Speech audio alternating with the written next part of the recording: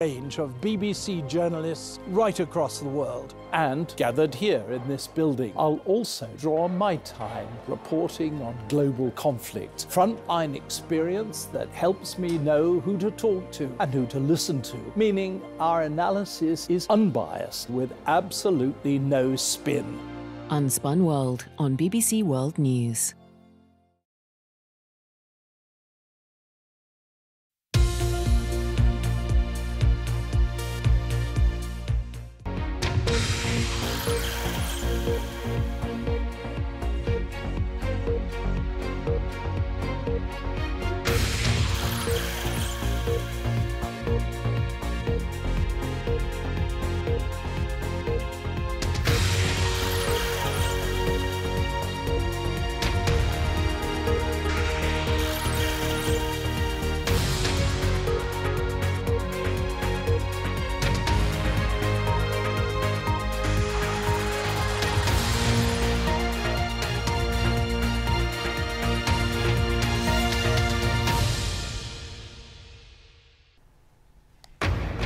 This is BBC World News. I'm Nancy Kacungira. Our top stories.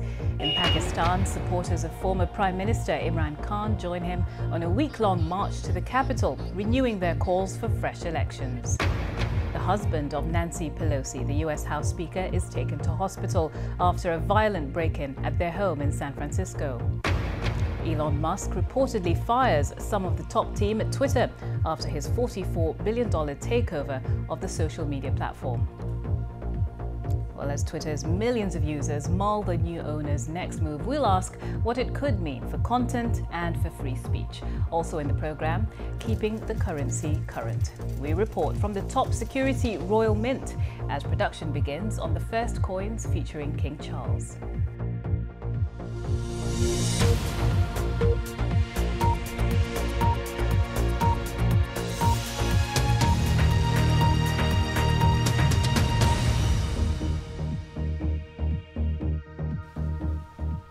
Hello, thanks for joining us here on BBC World News. Pakistan's former Prime Minister Imran Khan has begun leading a week-long procession of his supporters from the eastern city of Lahore to the capital Islamabad, demanding early elections.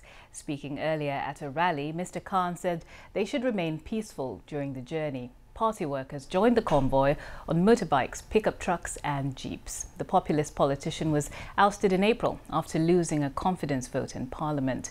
Our reporter Tarub Asghar is in Lahore.